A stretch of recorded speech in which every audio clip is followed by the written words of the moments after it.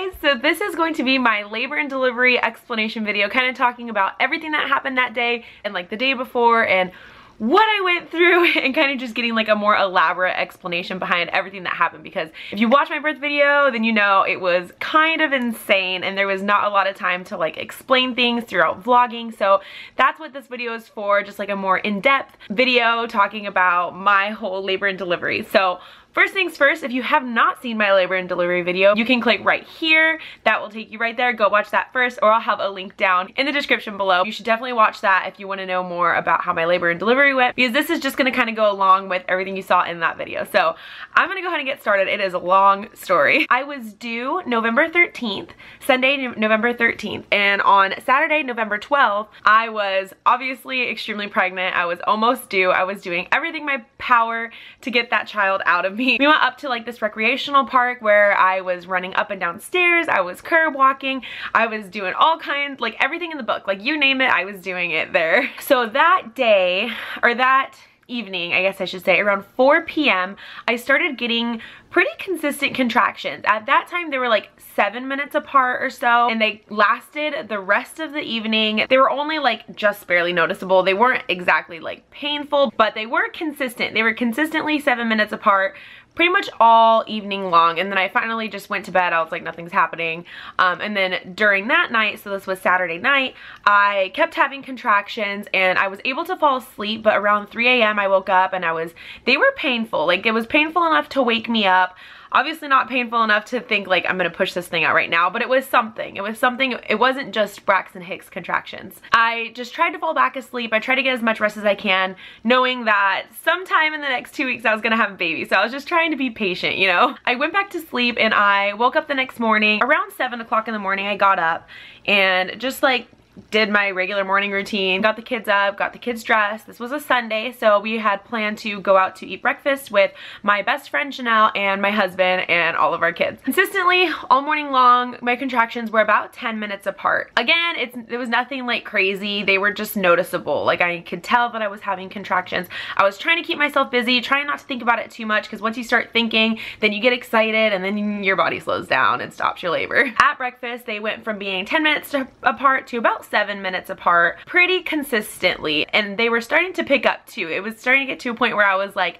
not super super happy-go-lucky but like kind of irritated you know. It was kind of a loud environment. Obviously we're out at breakfast. I was just kind of irritable. After breakfast we decided to go to the park and take the kids out. I wanted to get out of the house. I wanted to like keep moving and stay active and like get on my feet and get labor rolling, get stuff going on. Chris took the kids to the park and was playing with them at the park and me and my best friend just walked around the park for a good one to two hours. I was still having contractions. I was mostly having a lot of like cervix pain, like, or pressure, I guess I should say, that lightning crotch feeling that people always talk about. I was just like waiting for my water to break, you know, like something, give me a sign. But of course, nothing really happened. Um, my contractions were at this point, I was not timing them anymore, so I'm not sure exactly how far apart they were, but we loaded up the kids, and since I was still having contractions and they had been consistent more than they had any other day in like the past week, I decided to call call my grandma who was to be on call for picking up the boys when I went into labor. I didn't tell her I was like in labor or anything, but I just kind of explained to her what was going on. I said it was a possibility that I might call her in a little while and ask her to take the boys, that I would just basically keep her posted. I was just kind of like letting her know. On top of that, I called my mom, which I call like every 10 minutes anyway, so it wasn't that big of a deal. But I told her what was going on. I told her that I was having a lot more contractions than I did like on any regular day.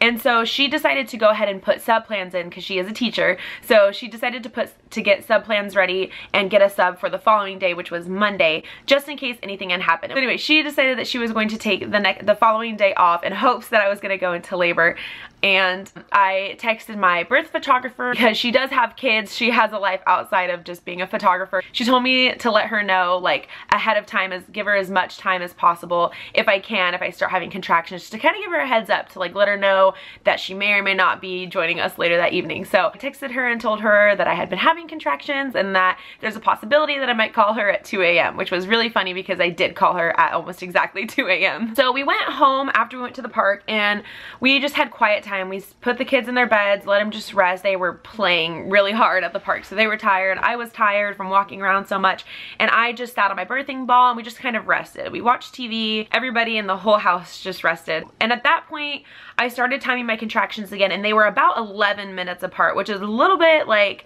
of a bummer to me at first because I was like, oh, I've been like walking so much. Why are they not closer together? But I was noticing that they were getting more intense. So over a period of like, I don't know, maybe two hours or so, we just kind of rested and my contractions slowly started getting closer and closer together. So when I sat down, they were like 11 minutes apart and then they went to 10 minutes apart, 9 minutes apart, and I think they stayed at about 9 minutes apart for another few hours and they might have gotten close. Either way, all day I had been having contractions all day, anywhere between 7 minutes and 11 minutes apart. So I had a feeling that there was like something was happening, but I didn't know how long this was gonna last because with Lily, I had contractions for three days. With the twins, I had contractions for three weeks. With Landen, I had him that day. I started having contractions in the morning and then I had him that night. So who knows? My labors are just so insanely different. I didn't exactly know if I was gonna have a baby that night or if I was if it would be a couple days, but I could tell something was happening. Like my body was getting ready. After we rested a little bit, I wanted to start like get going again. So I decided let's go to the mall. It's get it was getting dark outside, so we took all of the kids to my best friend Janelle's house where her mom was and she watched all the kids for us and like let them play and let them like have fun so they weren't stuck walking around the mall for another two hours. So me, Chris, and my best friend Janelle went to the mall where you could see me in the video. I was like running up and down these stairs and they had like escalators there, but one of the escalators was broken. So I just like used that to my advantage and kept running up and then going back down and then running up and going back down. And then we came across these people who were giving massages and they're like those annoying pushy people that you always find in the mall and they're like, I'm gonna give you a massage. And you're like, no, I really don't want a massage. But I was like, you know what? Why not? I think I'm gonna get a massage. And I told him, here's the thing. I'm due today. I want this baby out. I don't care what you gotta do. Push all those little pressure point push like places. Do what you gotta do try to get this baby out for me. So he was like, yeah, yeah, yeah, yeah. So it was more so like a joke, but I figured why not? Like it's not gonna hurt at this point. So I sat down and I got like a 15 or 20 minute massage from those people where he was trying to push all these like pressure points and stuff. So that was just kind of funny. But the funny thing about that day, and I did mention this a little bit in that vlog, but this was the day of the super moon. So that night, the super moon was supposed to come out, which is where like the moon is significantly closer to the earth than it is normally. So a lot of people had already told me this and they were like, maybe you'll have your baby on the day of the supermoon. So that was really cool. And actually Chris's grandma, since obviously she was born that day, Chris's grandma calls her moonbeam because she was born the day that the moon was closest to the earth. So anyway, we had arrived at the mall around 5 p.m. and we stayed there until it closed. And since it was a Sunday, it closed at 7. So while the kids were still at their friend's house, we came home for a little bit and just kind of, we kind of wanted to like regroup, like decide what we were gonna do. Am I gonna call someone? Am I not gonna call someone? I decided let's just sit down for like 30 minutes and see how far apart they are, see how intense they are, and decide, do I wanna just go to sleep or are they more intense to where I think this might actually be happening and maybe I should call someone. So we sat around for about 30 minutes or so and just kind of trying to get a feel for everything and my contractions were still very consistent. They were starting to pick up pain wise. So I decided, you know what, like I might not have a baby tonight, but at this point I think I'm gonna go ahead and call my grandma, the kids Gigi, since she was gonna watch them like when I was having the baby and I'm just gonna tell her, go ahead, let's go ahead and just pick them up. I wasn't 100% sure that something was going to happen, but my instincts were kind of just telling me, just let them go. That way I can like focus on my body and this baby. If in the end nothing happens that at least I got some rest, you know, without the kids. So I went ahead and called Gigi and I told her, let's go ahead and do this. Come on over. I'll pack their stuff and we're gonna send them off with you guys. So we went back to my best friend's house where all the kids were. I had all the kids bags packed. Gigi came, it was about 8.30 by the time she got there and they were all so ready for bed anyway. So it actually kind of like really worked out because all she had to do was take them home and like put them to sleep and then not really have to worry about it, you know? So at that point I was trying to decide, do I want Lilia to come back to my house or do I want to leave her here? And I did explain this a little bit in the video too. I didn't send her with Gigi because Gigi lives further out from where we live. I figured she was either going to attend the birth or go to school the next day. I didn't want my grandma to have to wake up everybody super early to drag her across town to go to school. So anyway, we just figured out that it was easier that she either come home with me and watch the baby be born because I did talk about that possibility or have her stay at my best friend's house and uh, stay the night there and go to school the next day. So I talked to her a little bit. At that time, she was kind of just playing. I told her that I might have a baby tonight and I kind of explained things to her. And at that time, she didn't seem super excited to come watch the birth. And if she doesn't want to watch the birth, I'm not gonna make her watch the birth. So she had told me previously that she was interested in being there and that she wanted to be there when the baby was born. But considering it was already 8.30 at night, she's I'm not gonna keep her up all night, you know, to labor or whatever. And she was happy where she was at. We decided let's just leave her. We're not gonna push it. The timing just isn't right. It's late at night. She's tired. She has school in the morning. If nothing happens, she at least needs to go to school. So that's why we ended up leaving her there. So at that point, I came back home. I just kind of rested, sat on my birthing ball. It was still me, Chris, and my best friend. And we were just kind of hanging out, talking, you know. And I started timing my contractions again. And they were about five to six minutes apart pretty consistently. And they were definitely getting more painful. So I called my mom and I updated her, told her what was happening. I told her she's more than welcome to come over and hang out with us and see if anything happens or she can stay there and try to sleep and I'll call her if something does happen. But around 10.30, she decided that she wanted to come over. It's weird how just like things work out, right? Like your body's just know, your instincts just know. So she just decided, even though she is like so keen on her sleep, she thought that it would be a good idea to go ahead and come over. So that should have been a sign to me that her like her motherly instincts were kicking in, you know? About 10.30 p.m. she came over. My contractions were still about five to six minutes apart and increasingly getting more painful. So at that point, we just kind of waited. It was just kind of like talking, hanging out. I was still obviously very happy in between contractions. Um, during the contractions, they hurt and I was getting to that point where like if you've watched me my previous labors, I in the past have been very much like, don't touch me, don't look at me, don't talk, don't breathe when I'm having a contraction. So I was starting to get to like that point in my labor where it was like, don't talk, like it's just like distracting, you know? However, a lot of people pointed out that this labor and delivery, I had Chris touching me a lot. And in the past, I wanted nobody to touch me. I wanted nobody to look at me. And for some reason, I just needed his touch. Like him touching me really distracted me from the pain that I was in and I felt like it helped so, so much. So I was so happy to have him there. I think it was just, it's a very different atmosphere than my previous births were, if you know what I mean. So um, having him there and having him touch me and having him like rub me was so comforting to me and it's definitely something that I needed at that point. But still the talking like during contractions, I was just like, let's just be quiet. So around the time that my mom came over, like right before and right after, we started rearranging my room to make the tub fit in our room. Cause basically we have like a king size bed and we have a couple different dressers in here and a crib.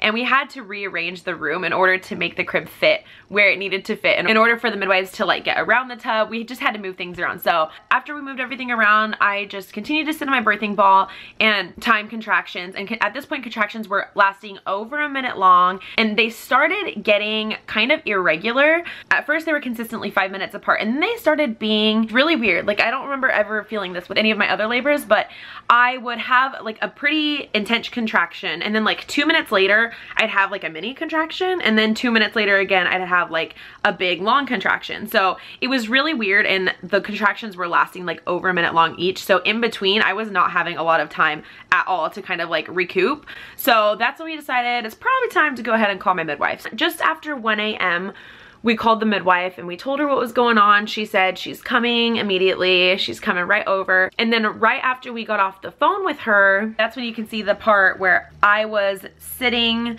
in the living room and I had just had a contraction and the contraction had just ended and I felt like a gush and it was really weird. It wasn't like a huge gush. It wasn't like I had just like peed myself, but it was enough like, I don't know if this is TMI, but like, you know, if you're on your period or something and you could just feel when something's coming out, you know? So it was totally TMI but it felt like that. I could just feel something come out. Up to this point, I had not lost a single dot of mucus plug. My water was still intact, no bloody show. I'd had nothing up to this point. So when I felt that, I was like, something's happening. So I reached down to kind of like check it out and see what it was, to see if it was my water or what it was. When I looked, it was blood. It was what I thought was kind of a lot of blood. So immediately I went to the bathroom and I kind of checked myself. At first it was pretty runny, like it was kind of like um, just plain blood, you know? It wasn't that mucusy at first, but then when I like wiped a little bit more and kind of waited a little bit more, it was just very mucusy, bloody show. And it was a lot of mucusy, mucusy, bloody show. And I had had this with Landen too. I guess I just forgot how like much bloody mucus you can have, you know, but I just don't remember it being this like sudden before. So minutes later, the midwife arrived. We told her what happened and I showed her, obviously, she was like monitoring, um, like when I wiped how much was coming out and she was like, I'm gonna go ahead and check you just to make sure. So she went ahead and decided to check me, which my midwife does not usually do. She doesn't usually check you during labor unless you request it or something's going on. So since I just randomly started bleeding, she decided to go ahead and check me and I was at four centimeters dilated. I feel like when she checked me, that's when things like really started to pick up. I was four centimeters dilated.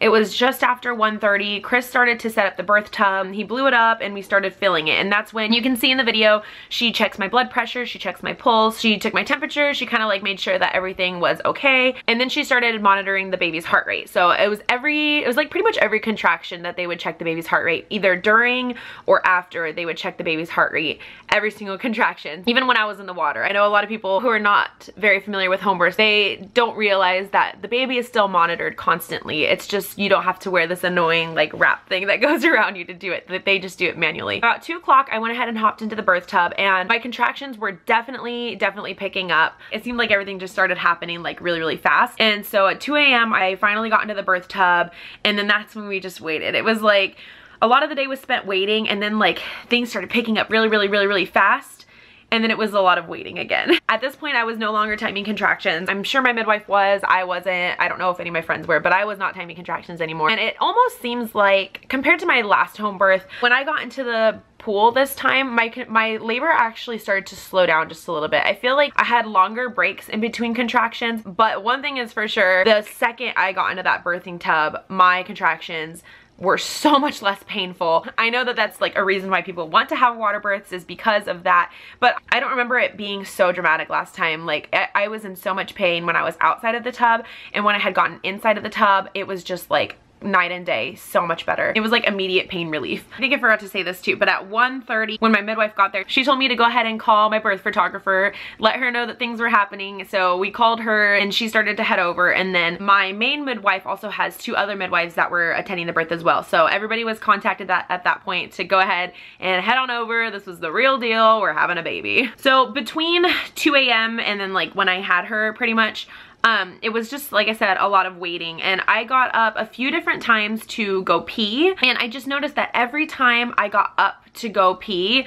my contractions hit me like head on. They were excruciating, almost unbearable when I got out of the tub, um, to the point where I would like walk two steps and have a contraction and then walk two steps and have another contraction and walk two steps and have another contraction. And then when I'd sit down on the toilet, I sat there for like 10, 15 minutes before I got the courage to get back up and get back into the pool. And when I got back into that pool, man, did it feel good. I just gotta say, having a water birth is definitely something that everyone should look into. It was so amazing. It was such a difference from being outside of it and getting back in it. The pain relief was just very, very good. I remember just being really, really hot inside of the birth tub because the birth tub does have to stay at a very specific temperature. They want it at 99 degrees, but there was a couple different times where it was warmer than 99 degrees because you had to like keep it balanced. You know, we had to add warm water and then it would cool down and then add warm water again and then cool down. And I just remember being so hot and sweaty. And between Chris and my amazing midwives, they kept bringing me like cold cloths to kind of put around my neck to cool me off a little bit. But I was exhausted at this point. I was like super tired. I was super hot lot. I was in a lot of pain and it seems like when I got to the point where I couldn't handle it any longer, that's when things like started happening. At about 4.30, that's when I think transition really hit. That's when things just like went from being like fine and dandy to very, very, very intense. I could physically feel the baby getting lower and lower and lower going into my birth canal. It's like such a crazy, surreal experience to be able to actually feel your body do that. Between 4.30 and 5, it was still just lots of intense contractions. Then about 5 o'clock, that's when like the exhaustion really hit me. I remember I started dozing off in between contractions. I was like leaning on the birth tub like this. And then in between contractions, I would... Sorry, little lady woke up. Look how big she's getting. I weighed her last night or two nights ago and she was already 9 pounds 10 ounces. You want to say hi? She's like, no, put me back to sleep. Oh, feed me and put me back to sleep, huh? Anyway, so where was I? Um, so around 5 a.m., I remember just being so exhausted that I started dozing off like in between contractions and I was laying on the birth pool. I was laying on the pool like this and in between contractions I would like start to kind of fall asleep a little bit. And at that point too I remember I was grabbing Chris's hand or like his arm or something. And every time I would have a contraction like this is like so stereotypical. Like you know when the mom is in labor and she squeezes the dad's hand I was squeezing the crap out of his hand. And I felt really bad. Like I feel like I could have like fractured his hand with how hard I was squeezing it. But it really helped me kind of take the focus like off of the pain that I was in and like focus on something else, just like squeezing the crap out of him. I feel really bad. So about 5.20 a.m. I started pushing. Everybody's different and like every labor is different and every delivery is different. But for me in the past, like pushing has always been the I don't want to say easy because it's not easy by any stretch of the imagination, but it's definitely like easier than the labor is. Like I would pick pushing over laboring any day. That's just my opinion. Oh, she just pooped on me. All right, we're gonna see how many outfit changes we're gonna do in one video. She literally just pooped all over everything. So we're back and we're gonna finish our story. Huh you gonna finish your story? Between like having contractions or pushing the baby out, like I'd rather push the baby out. But this time around, this, for some reason, pushing her out was harder than pushing out any of my other kids. Like with the twins, Kyson pretty much just like came out first push and then Landen, he came out pretty much one push and then with Lilia, I had an epidural so I couldn't really feel anything. I started pushing at 520 and she was born at 527. So it was like almost 10 minutes of pushing that I had with her and it was only about four contractions. So for a lot of people that might sound like it's not a lot, but I don't know how these women can push for like hours on end. I know like on average women push for about two hours before the baby's born. Major props to you guys who push for that long because holy crap, I this is the longest I've ever had to push and it was only like four contractions and this was the hardest time I have ever had trying to push out a baby and she was not even that big. Like Landen was bigger than she was.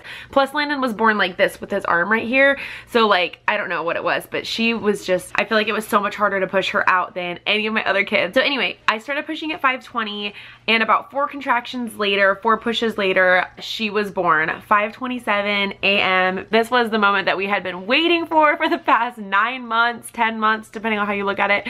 It was just so amazing, so surreal, so relieving to finally have her out. What's funny is that she was born at 5.27 in the morning and Chris really likes that because his birthday is May 27th, so 5.27. So he found that like so super cool. So when she was born, we had already pre-discussed like who was gonna say if it was a boy or a girl. We already pre-decided that we wanted Chris to be able to say if it was a boy or if it was a girl. So you can see that moment where when she was born, I brought her up and it took us a minute to kind of, or a second, to like lift her up and then her legs were closed a certain way so we had like turn her a certain way to look. And then when we lifted her up and I think we were both so shocked. Like I looked and I realized that it was a girl and then I showed Chris because we had already decided that we were he was gonna announce if, whether it was a boy or a girl and he was like so shocked like he couldn't even he was just like speechless. That's when you hear me say in the video i'm like tell him! Because he's just like so i think stunned that it's actually a girl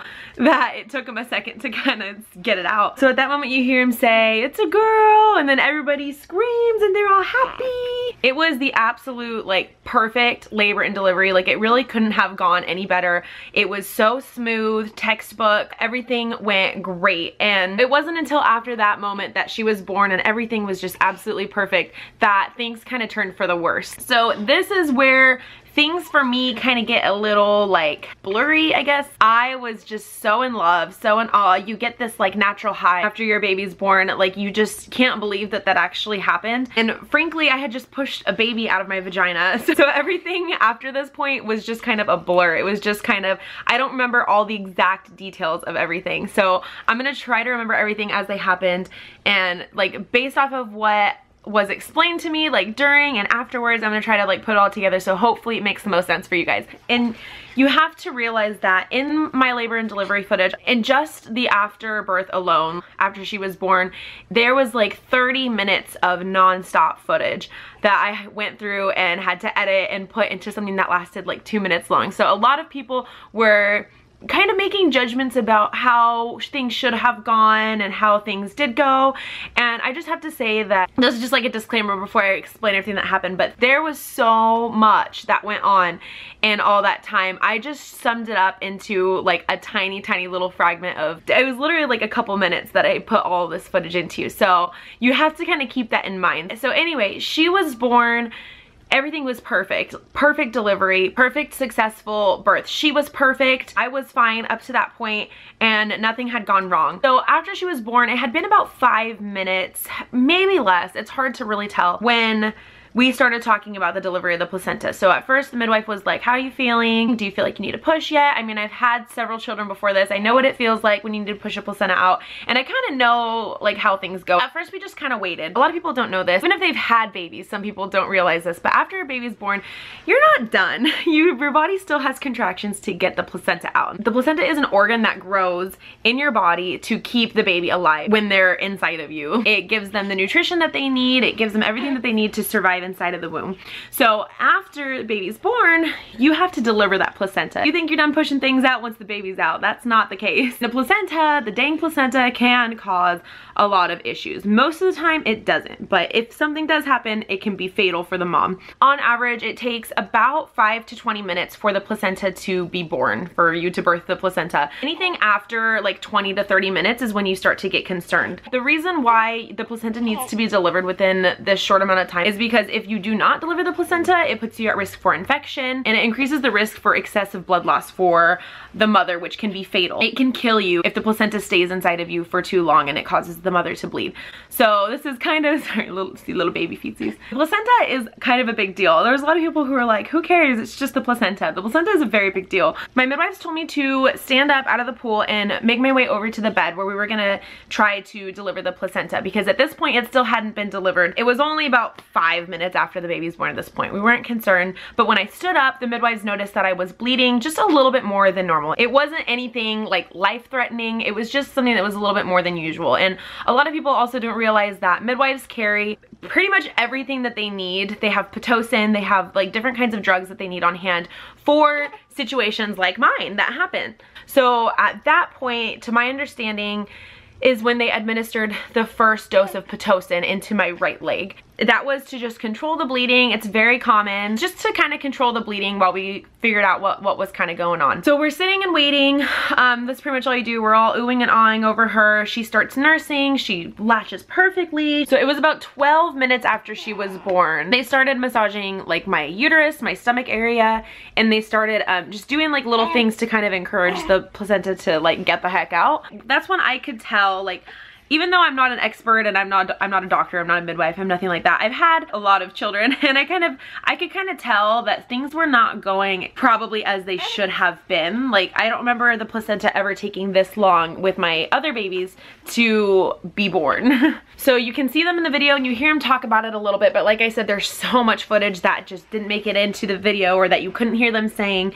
Um, but they administered the second dose of Pitocin um, into my left leg. They were explaining this whole process to me as it was happening. But like I said, I was just in such a daze. I don't remember exactly what was said. I just remember them being very, very um, supportive and they were like talking me through it and telling me it's okay. And I think like the fact that they were like telling me it's okay made me kind of think like, why am I not okay? like why, wait a minute, why are you guys telling me that? More time had passed. The midwives decided that it was best for me to stand up and try to deliver the placenta that way, kind of let gravity like take its course. When I stood up, I think you can hear in the video actually, if you turn it up pretty loud, you can hear when I stand up, um, you just hear like water dripping and that's blood coming out of me.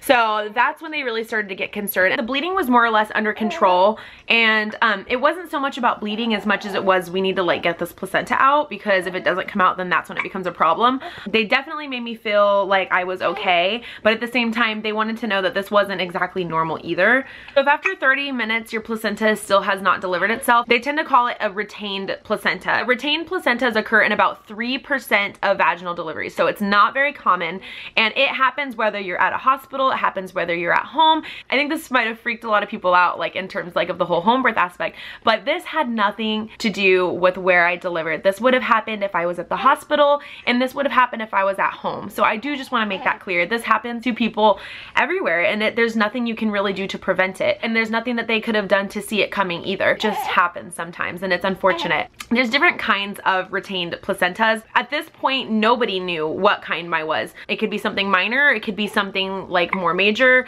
Nobody knows at this point. Whether you're at a hospital or at home, nobody knows what's wrong with your placenta until they go in there and they figure it out. So you can hear this a little bit in the video, but like I said, a lot of this part was cut out. Basically, I stood up, the placenta still did not detach. At that point, they had realized that my placenta was not still attached to my uterus. It was partially detached from my uterus, which is actually worse than it being like still attached to your uterus because your body is trying to bleed it out and get it out of your body, but something inside of your body, and it could be several different things, was making it not happen. And at the time, nobody knew exactly what that was. Nobody knew exactly why my placenta was not being delivered. Once I stood up and we realized that the placenta was not coming out, that's when you hear her say, I've got to go in, or something along those lines. So I knew what she was saying at that point. I had, there was three different midwives there. Two of them were like tending to what, what I was needing medically, and one of them was by my ear the whole time, and you cannot see her, but she is the one who was like explaining everything to me and she was there by my side. She was kind of like walking me through everything and telling me how I'm gonna be okay. That's the thing that a lot of people don't see because obviously the only camera that captured any of these moments was the one that we had set up on the tripod. So you can only hear what's right around that camera and you can't see anything else that's going on anywhere else. So when she said, I've gotta go in, I have a flashback to when I had the twins. I had been through this before and it wasn't for the placenta, it was for the baby, it was for Kaden. So I knew exactly what she was saying. I had the other midwife kind of telling me what was gonna happen. I knew that there was nothing that I could do to like change the situation, that this had to be done, but I was scared obviously nonetheless. So I cut a lot of this part out because it was extremely painful, a lot of me screaming, I didn't want to traumatize anybody. The midwife had to perform what was called a manual extraction of the placenta in order to attempt to get the placenta out of me because like I said, if it stays inside of you for too long, that's when it becomes an issue. And I cannot remember at ex what exact moment we called 911, but I feel like it was at this point that um, we had decided that we needed to call an ambulance and we're going, we were most likely going to transfer. Okay, I had to give her back to daddy. She was getting antsy. What was I saying? So basically the, the midwife had to go in for what's called a manual extraction. And this is something that they perform in the hospital and they perform at home. This is a routine procedure that's done when you have a retained placenta. It's just something that they have to do to try to get the placenta out. So what happened was the first midwife went in elbow deep all the way up into my uterus to hopefully detach the rest of the placenta and to get out that way. When she went in the first time, she discovered that I had what is called a bicornuate uterus, which is basically um, a weird shaped uterus. Most people's uterus is kind of like a pear shape. Some people have what's more of like a heart shaped uterus and my uterus is shaped in a way such that I have a tiny portion of my uterus that is misshaped. So like it's basically like a tiny bubble at the top of my uterus. So the rest of my uterus is pretty normal and I have a small, almost like a bubble, like a tiny section of my uterus that is just kind of awkwardly shaped. When you get pregnant, your placenta can detach anywhere in the uterus. It's just completely random to where the placenta decides to attach to the uterus. And what happened with her is that when I got pregnant with her, her placenta happened to attach to the exact spot where that little bubble in my uterus was. So this is not something that can generally be seen on an ultrasound. This is not something that anybody can have any sort of knowledge about until it actually happens. This could have happened with any of my pregnancies. It is just by complete chance that my placenta happened to attach to this particular spot in my uterus that happened to cause this problem. When they went in, they had discovered that I had an adherent placenta that was trapped in this horn of my bicornuate uterus. And that's like a lot of big words. This is like my understanding of it. So when they went in for manual extraction of this placenta, that's when they discovered that it, my placenta was actually detaching. It was doing exactly what it was supposed to be doing. Um, it was detaching from the uterus, but it was literally stuck in this tiny portion of my uterus and my uterus was contracting to try to get it out. So when you're having a baby uh, or you're trying to deliver the placenta, your uterus will contract. Each time it contracts, it contracts and it contracts. So I had this little like horn of my uterus here. My uterus was contracting to get this placenta out and when it was contracting it was actually making my placenta stuck The only way at that point to get my placenta out was being transferred for a D&C, which is a medical procedure where they go inside and they have to surgically remove your placenta. And I just wanna say I'm so, so, so grateful that I had such amazing midwives that knew when to make the call, what they needed to do before that point, what they needed to do after that point, and what they were not capable of doing. When you decide to have a baby, whether you have it at a hospital or, or at home, whether you hire an OBGYN or a midwife, you have to put your trust into that person's hands. And you have to trust them that they're going to make the right decisions for your baby and your body when you don't have the knowledge to do that. And I just have to say that they went beyond my expectations of anything I could have possibly imagined to keep me safe and keep my baby safe. There's something that my midwife told me that was like during all this that was happening, because like I said, everything was such a blur. There was so much going on. There were so many people talking. But there was one thing that my midwife told me that I will never forget and that just kind of like took away from any, anything else that was going on at the moment. She leaned over and she told me, I just want to let you know that you are perfectly okay right now. Everything is fine. At this point right now, you are not in danger, but we need to get you to a hospital before you are in danger. So like, it's not like I was bleeding to death and they were like, call 911, she's gonna die. It wasn't like that at all. Every single call that the midwife made was made at the right time to where I was never, throughout this whole process, I was never in danger. If they had waited, I would have been in danger. I could have died if they didn't call and have me transferred to a hospital. But the fact is that they knew exactly what they needed to do, what they were capable of doing, and when it was time to make the call for surgical removal of the placenta. Basically, moving on, the ambulance came,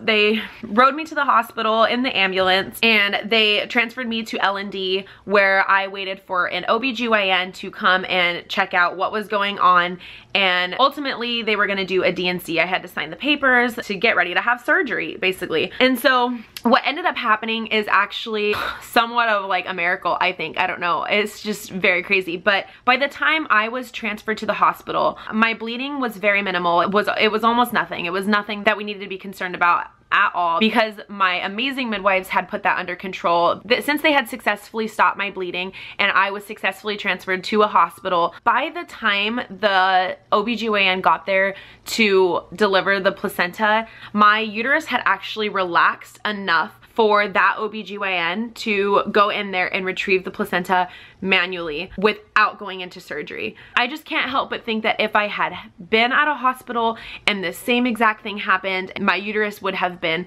so clamped shut that they, it would have been inevitable that I would have been sent to surgery and that just would have been it. They would have been the same thing. They would have tried to retrieve the placenta manually. They would have been unsuccessful because of the way that my placenta was contracted and I would have then been sent straight to have a D&C. Whereas since I delivered at home, that allowed my body to have enough time for my whole uterus to actually relax and for the placenta to actually come out um, somewhat, some version of it on its own, at least not surgically. They still had to manually extract the placenta, but I did not have to get the D&C after all of that. I just think that that is an absolute miracle that after all that I went through, I still was not sent to surgery. So once the placenta was outside of my body, that's when everybody was able to finally just relax. so once all this was done, the doctor who had gotten my placenta out came up to me and this was probably the worst experience I've ever had with a doctor and I've had a lot of pretty bad experiences with the doctor. After just going through everything that I had just gone through, she came up to me and said, I just want to let you know that if you ever plan on having any more babies, this is why we discourage home births. Basically shaming me for choosing to have a home birth and kind of like throwing it in my face like haha look at where you ended up and that was the most unprofessional rude experience I have ever had with a doctor. And I was so grateful that I had an amazing nurse that was at least at that hospital because immediately after she left she had left at that point and I never saw her again. And the nurse who was in the room at the time came up to me and she said I just want to let you know what that doctor said is absolutely not true. This happens all the time. You being at home had nothing to do with what went wrong. This happens at the hospital and we see it all the time. I was so grateful for that. Like I already knew that what that doctor was saying wasn't true, but it was just really nice to kind of have someone at the hospital still kind of be on my side and not viewed as like a failed home birth. Because frankly, there was nothing about this birth that was failed at all. I had a perfect labor perfect delivery, no complications whatsoever. And then whenever there was a complication after delivery, I had very professional, knowledgeable midwives to know when their expertise stopped and where medical intervention was necessary. And it wasn't only the doctor either. When they put me into the ambulance to have me transferred, it was again the most unprofessional environment I have ever been in in my life. They didn't take anything that the midwives said seriously and they were literally laughing at the midwives while I was sitting there inside of the ambulance as if it was a joke pretty much. I just couldn't help but think like this is why I chose a home birth. This is why I put my trust into these three amazing knowledgeable professional women and not some doctor who sees you as a a paycheck. And I just want to say like I am not against hospital births. Like I had two of them and I, I think hospitals are one of the best inventions in history for reasons like this, for reasons when you need to be seen medically. And I just think it's sad that when I arrived there, there's people who viewed me in a certain way, like viewed me differently. I just think that women should be able to choose what kind of birth that they want. They should be able to choose if they want natural birth. They should be able to choose if they want an epidural and they should be able to choose if they want to go in and just be knocked out and have a C-section. There's nothing wrong with any of those ways to have a baby. And the fact that I was viewed so negatively when I arrived at this hospital was just so so eye-opening and it was just it really caught me off guard. Like I, I have never seen people that call themselves professionals act so unprofessional in my entire life. And there's like other little stories that were in between but I'm not just gonna sit here and like ramble on about my bad experience with them because that's not what this is about. This is about the amazing birth that I had and the amazing people involved and throughout my whole entire birth experience. So moving on though after that point post-birth I was at the hospital obviously. The placenta had successfully been retrieved I chose to get antibiotics for obvious reasons because of how many like different arms were inside of me. I was able to leave the hospital that day. Thank God. I just had to stay for my last round of antibiotics, which was I think it was like 11 p.m. or something and I asked to leave immediately after. I didn't want to stay another night because since Addelyn was not born at that hospital, she was not allowed to stay with me past visiting hours, which again, I think is just crazy. Telling a mother that their new baby cannot stay with them even for just two hours until I finish my antibiotics. So this whole labor and delivery was by far the craziest one that I've ever experienced. And I've had some pretty freaking crazy, I think, labor and deliveries. I feel like I've kind of done it all at this point, except a C-section, I guess. I hope that clears it up for you guys. I know I had so many questions about like how I felt about everything and what exactly went on. And even though I'm not able to cover every single detail, and I'm sure I'm leaving stuff out, I'm gonna be like, dang it, Jessica, I wish I would have said that. Um, I hope that kind of clears it up a little bit more for exactly how everything went down. If anybody has any questions, I will definitely try to answer them in the comments below. So that is it for my labor and delivery story, guys. Sorry that was, this is probably such a long video. I feel like I've been talking for hours. So I hope you guys enjoyed this video and I will talk to you guys on Friday for our next video. Bye. And I am actually going right now to go take pictures of Lilia and all of her dad's side of the family. Aww. You're such a good mom. Aww.